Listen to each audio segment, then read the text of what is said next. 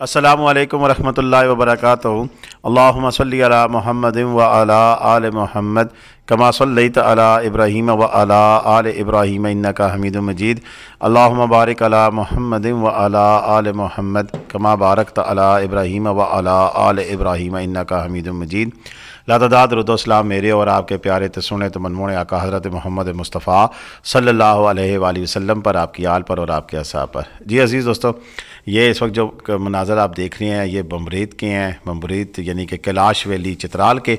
और समी लाग साहब ने हमें वीडियोज़ भेजी हैं और साथ साथ उन्होंने ये भी कहा है कि शदीद तरीन बर्फबारी हुई है पिछले कुछ दहाइयों से। इतनी बर्फ़ कभी भी हमने देखी नहीं है और इसकी वजह से तमाम सारा निज़ाम ज़िंदगी जो है वो मफलूज होकर रह गया है, जिसमें इंटरनेट भी नहीं है दिक्कत चीज़ें भी नहीं है और वह अब ये वीडियो वहाँ से दूर शहर में आकर मेरी तरफ़ भेज रहे हैं। यानी कि ये वीडियोज़ तीन से चार मार्च की हैं जब वहाँ पर सूरत हाल इंतई गंभीर और हालात जो उनसे हैं वो सख्त ख़राब हो चुके थे। ये देखने में तो बड़ी खूबसूरत लगती है, लेकिन ज़िंदियाँ कैसे जीरन होती हैं, ये तो वहाँ के मकामी लोगों को ही पता होता है कि वो कैसे फिर इन मुश्किल में अपनी ज़िंदगी गुजारते हैं। इस दौरान क्या हुआ, वहाँ पर कैसे जो हालात वाक़ थे, क्या हुए, इसके बारे में बताएँगे हमें खुद ही। और उसके साथ साथ जिन लोगों ने अभी तक चैनल सब्सक्राइब नहीं किया बर मेहरबानी हमारा चैनल सब्सक्राइब कर लें और घंटी का बटन दबाकर आल नोटिफिकेशन का बटन भी ऑन कर लें, ताकि हमारी आने वाली वीडियो का मैसेज आपको मसूल होता रहे। तो भी चलते हैं, भाई के पास बताते हैं कि वो हमें वहाँ से क्या अपडेट दे रहे हैं। अस्सलाम वालेकुम this is Sameel Haq from Sheikhandeh Bumburet Chitral Kalash valley दोस्तों, आज के मनाजिर आप देख सकते हैं, ये बैकग्राउंड में ये आप देख सकते हैं ये देखो कितना खूबसूरत मंज़र है। बस अभी तकरीबन दो तीन तीन चार फुट तक यहाँ पे बर्फ़ पड़ चुकी है।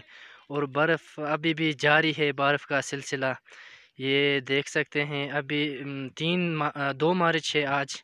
दो मार्च को ये अभी इस तरह हेवी स्नोफॉल हमारे अभी इसी आ, हमारे लिए ये एक नया वो काम है। काफ़ी अरसे से इस इस तरह बर्फ़बारी यहाँ पे नहीं हुई थी। अभी यहाँ पे इस तरह काफ़ी हेवी स्नोफॉल हुई है।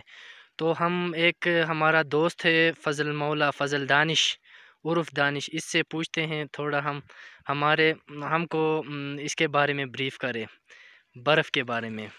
बसमीम मैं एक शेर के साथ आगाज़ करूँगा। मैं तमाम लोगों को यहाँ आने की दावत देता हूँ। इसलिए कहते हैं कि हमारे शहर आ जाओ सदा बरसात रहती है। कभी बादल बरसते हैं, कभी आँखें बरसती हैं। ये देखो, अभी चार फुट से ज़्यादा यहाँ बर्फ़ पड़ा है। एक खूबसूरत नज़ारा है इंजॉय मोमेंट है।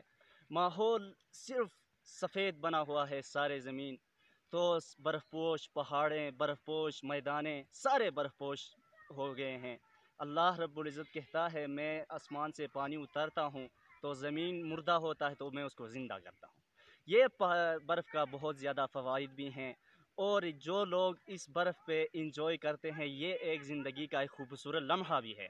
तो मैं यही कहूँगा, अक्सर लोग जो हम यहाँ आपने बता दिया, काफ़ी अरसे से यहाँ बर्फ़ पड़ रहा था, मगर इतना नहीं था जितना आज पड़ा है।